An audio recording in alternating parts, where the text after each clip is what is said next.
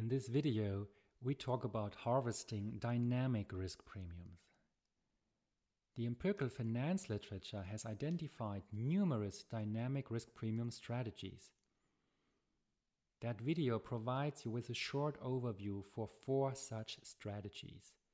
These are value, carry, momentum, and volatility. So let's talk about value. Over the past decades, value stocks, so these are stocks with strong fundamentals relative to their market price, have on average outperformed growth stocks. Different investors use different metrics to measure the firm's fundamental strength. Typical measures are book value, past dividends, expected future dividends, earnings, or expected earnings.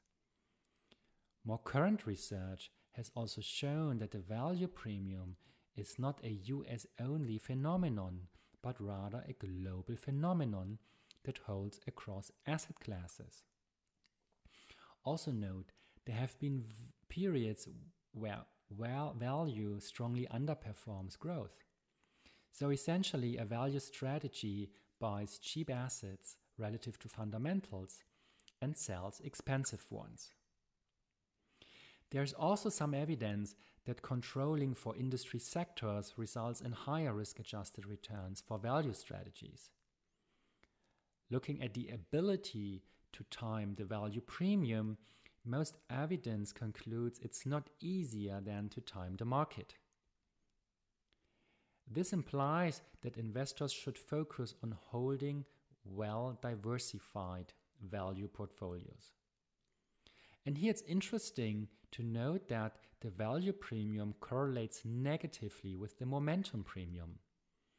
So, from a diversification point of view, any value portfolio should contain some momentum exposure. So, there are different economic theories to rationalize the value premium. One set of theories argues that the value premium is the result of behavioral biases. Investors extrapolate multi year growth rates of growth stocks too optimistically into the future. Hence, these overly optimistic priced in growth expectations will later be met by lower realized growth. That implies that today's high prices for growth firms will go along with disappointing future returns.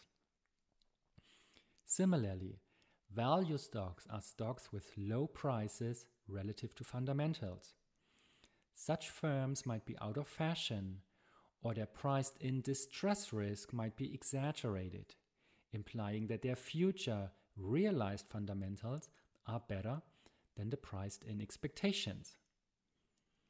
Another strand of the literature argues the value premium is based on value having more systematic risk than growth firms. That literature links the value premium to stressful times for the investor, such as disappointing returns when liquidity dries up, higher reinvestment risk of dividends due to their relatively low duration, or a relative underperformance during recessions. These theories need to address the challenge that value firms tend to have lower betas than growth firms and an overall similar return pattern during recessions. Now, I've mentioned that momentum is a good diversifier for value risk. So, what is a momentum strategy? Momentum strategies buy recent winners and sell recent losers. Such a strategy has performed well on a single stock basis and across several asset markets.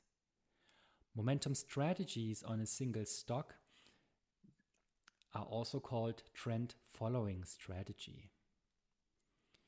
One prominent economic explanation for the momentum premium is again based on behavioral biases. Investors might underreact to incoming fundamental news.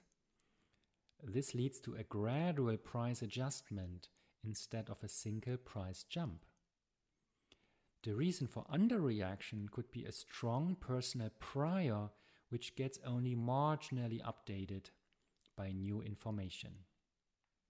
Last not least, momentum is a trading intensive strategy with subsequently large transaction costs.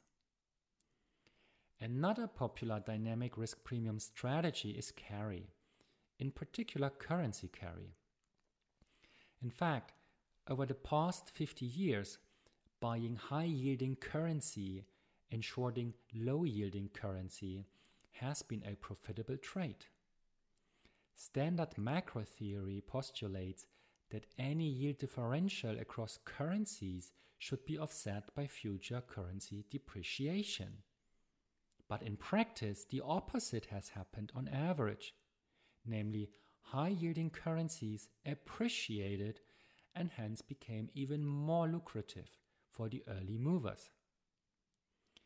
Carry trades paid high Sharpe ratios within G10 countries and performed even better with emerging market countries.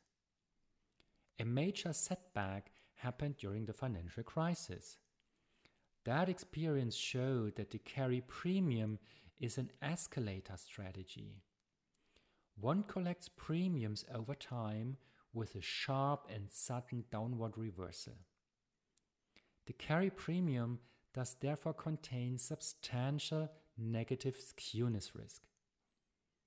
In addition, these crashes happen at a time when the world market is under severe stress.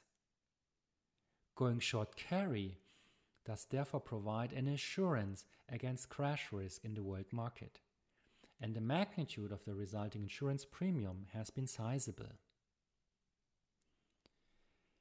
Now, the dynamic strategy of selling volatility is also considered an escalator strategy that collects premiums in good times and faces tremendous losses during market turmoil.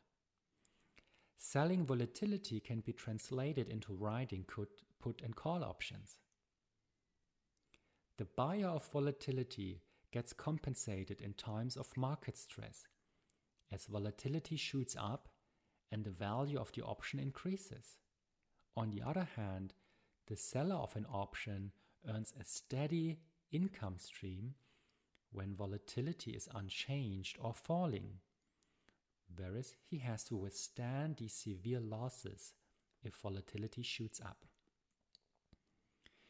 Note that, very roughly speaking, the realized volatility in the stock market is roughly 2 to 4% lower than the priced in expected volatility in the option market. Now, that spread between realized volatility and priced in volatility can be interpreted as a volatility risk premium. That premium is negative as the average investor likes to hold an option to protect his wealth from unexpected crashes. He's therefore willing to pay for such an insurance, which coincides with the risk premium for the seller of volatility.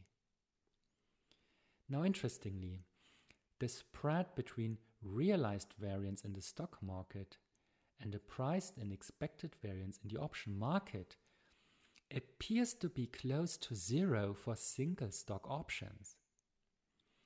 In contrast, for index options, such a spread is sizable, giving rise to the notion that the variance risk premium is in fact a correlation risk premium.